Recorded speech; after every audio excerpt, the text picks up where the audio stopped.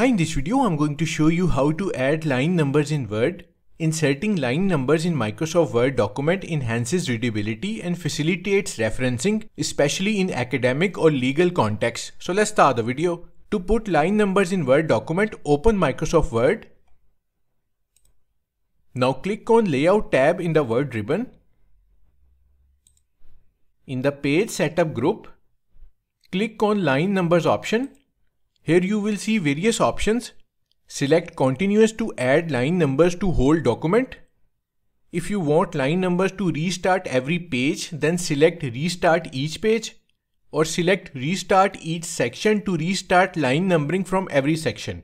So we are going to click on continuous. As you can see, the line numbers has been added. Now if you don't want line numbering on particular paragraph, then simply click on that paragraph